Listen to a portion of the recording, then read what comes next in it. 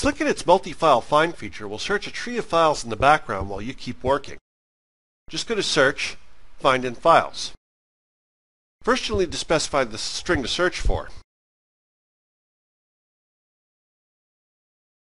Then you need to specify the directory to search in, or that you want to search in the current file, all currently open files, current project, current workspace, or the current files working directory. Next we specify wildcards to search in.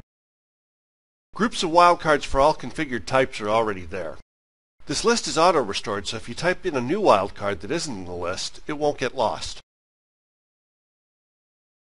You can also specify exclude file specs. This is good for skipping build directories or version control directories. This box supports ANT-style matching. Next we have whether or not to look in subfolders and whether or not we want to look in zip, Word, and Excel files. Multi-file search and replace supports Perl regular expressions and syntax-driven searching.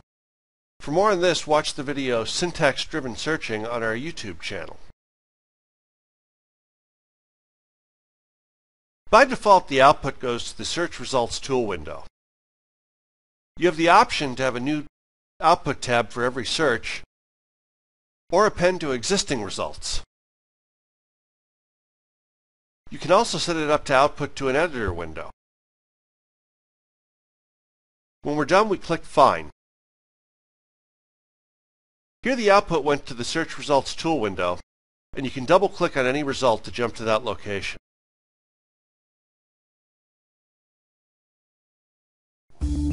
Download your free trial today. Go to www.slickedit.com slash trial.